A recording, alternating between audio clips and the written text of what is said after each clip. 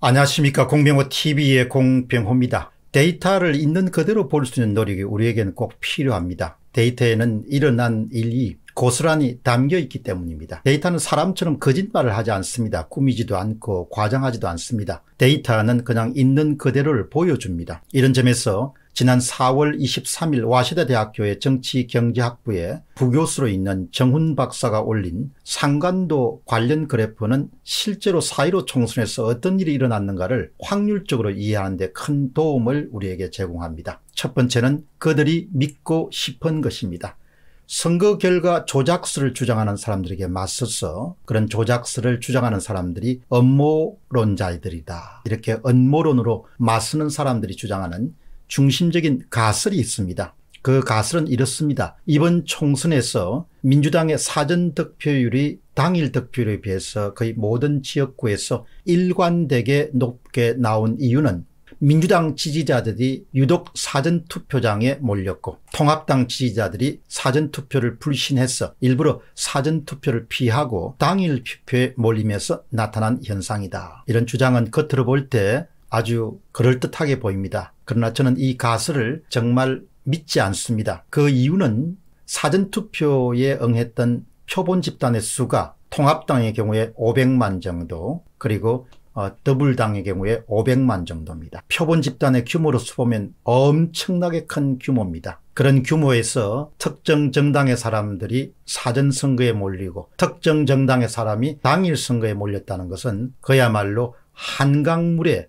돌멩이를 던지는 효과밖에 내지 못합니다. 다시 이야기하면 어떤 그런 종류의 이벤트가 설령 있었다 하더라도 모집단을 중심으로 해서 500만 명의 사전선거 표본 집단과 500만 명 정도의 당일 선거 표본 집단은 모집단과 거의 유사한 성격을 보이기 때문에 두 집단 사이에 큰 격차가 발생하지 않는 것이 통계적으로 정상입니다. 실제로 20대 선거에서는 사전선거 득표율과 당일선거 득표율 사이의 격차가 2% 내외였습니다. 이것이 대규모 집단에서 나오는 대단히 정상적인 통계값입니다. 이렇게 선거 조작설을 주장하는 사람들이 절대로 억지를 부리지 않습니다. 데이터가 제시하는 일어난 사건에 대해서 확률적인 접근을 하게 되는 것이죠. 대단히 이성적이고 합리적이고 논리적입니다. 반면에 21대 총선에서는 사전 득표율과 당일 득표율 사이의 격차가 10에서 13% 정도 모든 지역에서 모든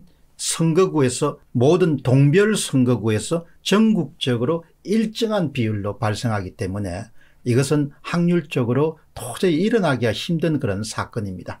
그러면 민주당 지지자들이 사전투표장에 몰렸다는 그런 가설이 맞아떨어지려면 두 가지 통계적 현상을 관찰할 수 있어야 됩니다. 이것을 정훈 교수가 규명해 냈습니다. 첫 번째는 이 가설이 맞다면 민주당의 지지율이 높은 지역일수록 사전투표율이 높아야 되고 통합당의 지지율이 높은 지역일수록 사전투표율이 낮은 경향을 나타내야 된다. 이것을 그냥 증명하게 되면 그렇게 업무론을 그냥 밀어붙이는 사람들을 어, 공략할 수가 있죠. 첫 번째 그림 여러분 보시기 바랍니다. 정은 교수의 페이스북에서 가져온 그림입니다. 가로축은 민주당 푸른색입니다. 총 득표율, 사전 득표율 더하기 당일 득표율입니다. 그리고 세로축은 동네별 사전 투표율입니다. 사전 투표수를 총 투표수로 나눈 겁니다.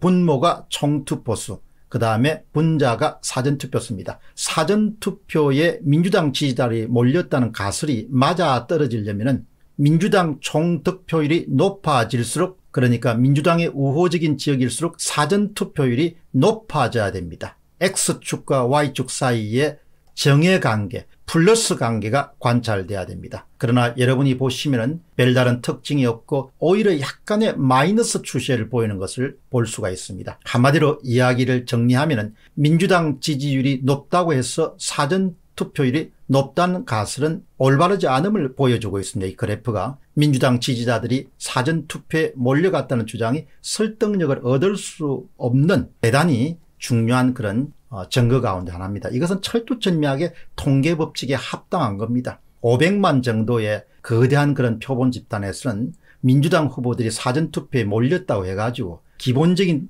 표본 집단의 성격이 바뀔 수가 없습니다. 조금이라도 통계학을 이해하는 사람은 그것을 감시히 이해를 할 겁니다. 두 번째 그림 보시기 바랍니다. 가로축은 통합당입니다. 붉은색 그리고 가로축의 숫자는 총득표율 사전득표율 플러스 당일 득표율입니다. 그러니까 0으로부터 계속 나아간다는 것은 총득표율이 높아지는 기본적으로 통합당의 우호적인 지역으로 간다는 겁니다. 그리고 세로측은 동네별 사전투표율입니다. 이것도 사전투표수를 총투표수로 나누는 겁니다. 오히려 통합당의 지지율이 높은 지역일수록 사전투표율이 높아지는 경향을 갖고 있습니다. 약간이지만 오히려 당일 투표율이 낮아지고 사전투표율이 높다는 이야기죠. 이것은 50대와 60대가 오히려 사전투표율이 높다는 것을 선관위 자료를 입증해 주는 그런 관계라고 볼 수 있습니다. 미미하긴 하지만 플러스 관계 우리가 주목할 필요가 있습니다. 오히려 통합당의 지지율이 높은 지역일수록 사전투표율이 높아지는 경향을 갖고 있습니다. 미미하긴 하지만 플러스 관계를 보이는 것이죠.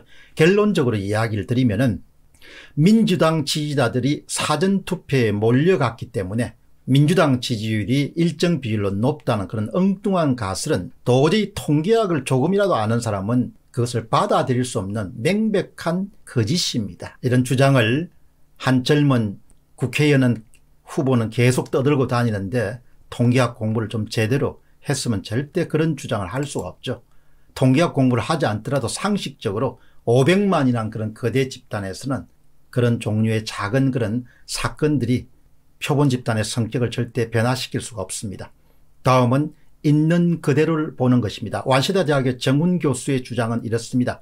만약 다른 선거에서는 그러지 않았는데 유독 21대 총선에서만 민주당의 사전 득표율이 당일 득표율에 비해 거의 모든 지역구에서 동단위 지역구까지 일관되게 10에서 15% 높게 나오고 통합당의 사전 득표율이 당일 득표율에 비해서 거의 모든 지역구에서 동단위까지 일관되게 10에서 15% 낮게 나온 매우 이례적인 현상이 일어났다. 통계적으로 발생할 가능성이 거의 없는 사건이 발생한 겁니다. 그렇기 때문에 우리가 의혹을 제기하고 그것을 규명하기 위해서 노력하는 겁니다. 정훈 교수의 이야기입니다. 어떤 사회적 정치적 문화적 개인적 요인에 의해서 민주당 지지자들이 사전투표장에 몰리고 통합당 지지자들이 사전투표를 피하고 당일 투표를 몰렸기 때문이 아니라면 이처럼 통계적으로 나타나기 거의 불가능한 그 통계학자들은 거의 불가능한 이렇게 하죠. 우리는 되게 절대로 이런 용어를 쓰지만 통계학자는 그렇게 쓰지 않으니까 거의 불가능한 현상이 대체 왜 그리고 어떻게 일어나게 된 것일까 당연히 의혹을 풀어야 되는 거죠.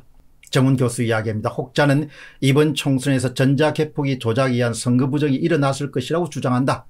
이런 업무론적 가설입니다. 가설, 통계적으로 가설입니다. 업무론적 가설이 틀렸다는 것을 입증하기 위해서라도 수개표에 의한 재검표 작업은 반드시 이루어져야 된다고 생각한다. 업무론자가 높을지 아니면 조량론자가 높을지는 두고 봐야겠지만 어떻든 현재와 같은 통계적 현상을 보게 되면 규명하지 않고서는 넘어갈 수 없고 규명하는 가장 좋은 방법은 전국에 대해서 수개표를 다시 하는 겁니다. 비용이 좀 들더라도 그것이 오히려 국민적 분란과 의혹을 줄일 수 있는 방법이다. 가장 중요한 것은 통계 분석에 따르면 21대 총선은 일어날 수가 없는 일이 일어나게 된 것이죠. 결국 통계 조작이나 선거 조작이 있었다는 이야기가 자동적으로 추론이 겁니다. 이것은 업무론 차원이 아니라 통계가 보여주는 과학적 결과입니다. 이제 남은 것은 어떤 방법으로 그런 선거 조작이 일어났는가를 밝히는 일이고 그것은 연구자의 몫이 아니고 그것은 수사 당국의 몫입니다. 그렇기 때문에 재검표를 통해서 진실을 가리는 일은 한국의 민주주의 발전을 위해서도 반드시 필요하고 중요하고 의미 있는 일이다 이렇게 생각합니다. 공병호 TV의 공병호였습니다. 감사합니다.